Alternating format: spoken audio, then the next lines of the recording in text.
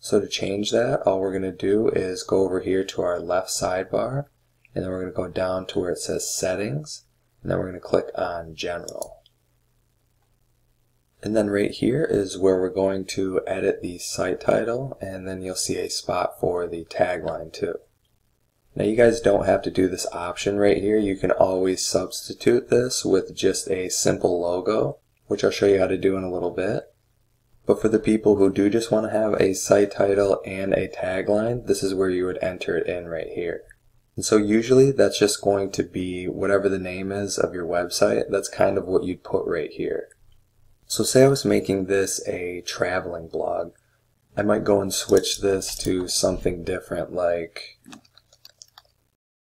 and then under here you can put a tagline and just like it says in a few words explain what this site is about.